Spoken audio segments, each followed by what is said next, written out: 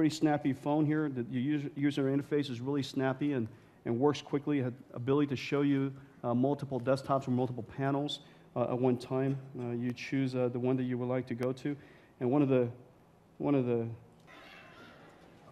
here, let's, um, for, for, do it, do it. There you go. You know, you saw Flash video, Flash advertisements, um, but this is Flash games. Uh, this, particular, this particular game is on a desktop, full out website, um, and we're playing this, this, web, this website from two mobile devices. On the right hand side is a Tegra 2 Flash accelerated processor. And on the left hand side um, uh, is some poor guy trying to, uh, he's trying to play it in slow motion, which, which may very well be easier. Uh, Jeremy, so, so um, you're going to show us uh, this new, really, really cool game. And this re- really cool game is it's a multi-platform game.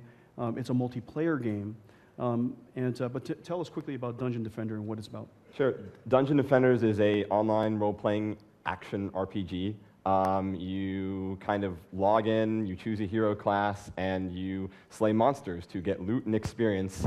And you also use some strategy. You can place down defenses. So your goal is to work as a team to survive waves of all kinds of crazy monsters in a fantasy medieval environment. hmm And if you were, okay, I was trying to figure out what is that sound.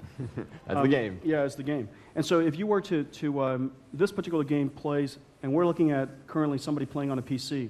And so obviously the game itself and the game engine itself um, requires a very high performance platform.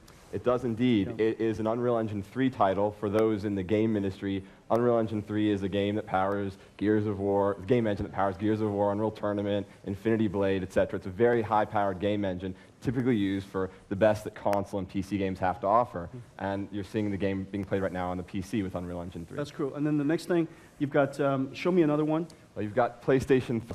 So these two uh, consoles, uh, well, PlayStation 3 and PC, are playing together online. Uh, and um, what we're finally able to do now, actually, uh, with the advent of Tegra 2, is I think uh, Wow, okay, show me the next one. we're able to bring Tegra 2 into the online game as well with the same content, that's amazing. the same Uh-huh. game. You're now able to have a console online multiplayer experience in your hand wherever you go. And for a game developer, this is really exciting because we don't want people to stop playing our game just because they have to, say, go to work, you know, So let me see if I can. that kind of stuff.